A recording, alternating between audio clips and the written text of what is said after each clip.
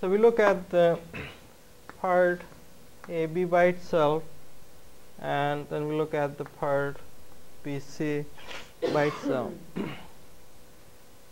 and let's say on A I could have let's say AX, AY, the fixed and couple MA then on the this A, B, this is B, C. Then we have the force here. 2500 Newton. And the distance known is 0.6 is 0.9 then on the top of that got the reaction and that's CY so that's just the two parts then we come back and look at point B.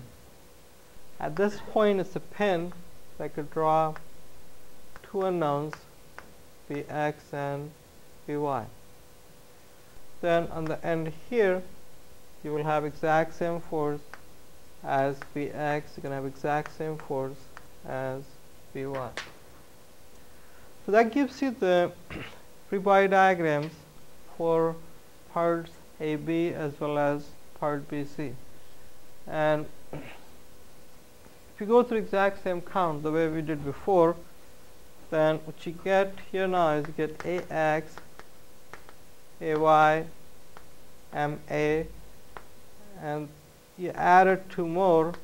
So you have BX BY plus you have CY so that's the total number of unknown forces in the given problem which is basically six unknown forces.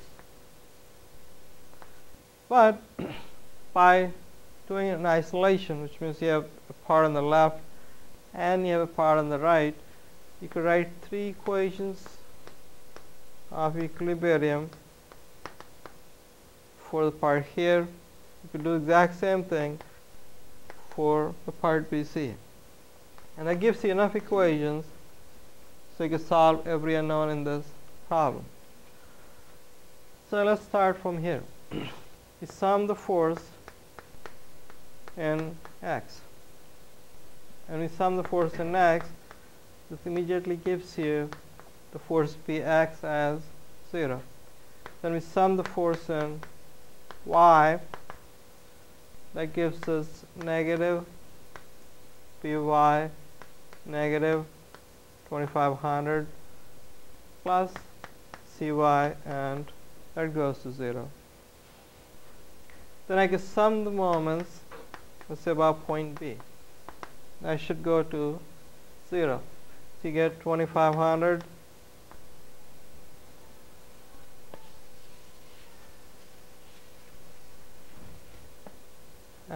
multiply this by 0.6 that's the clockwise moment.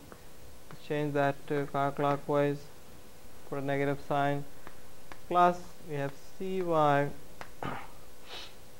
The distance is 1.5 it's counterclockwise so stays in the same direction.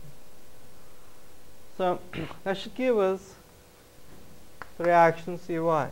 That's 2500 0.6 over 1.5 so that's 0, 15 so that should be 1000 Newton. Came out positive so that keeps going up. So once I have this I can come back here. I should be able to solve for By that will be negative 2500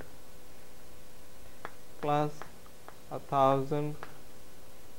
So that's negative 1500 Newton.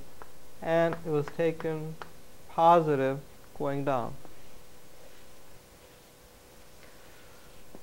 So this is going to be actually positive 1500 Newton and it goes up.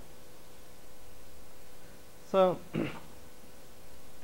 we the reaction we need. We just need Cy out of here. We have that at this point. Now, this is going to be 0. This is going to be negative 1500 Newton. You notice that this was going down and going down here is negative. So this will go up but still have the same negative magnitude. So that's for the force on the part AB. Now the, this distance is known as 1.2 meters.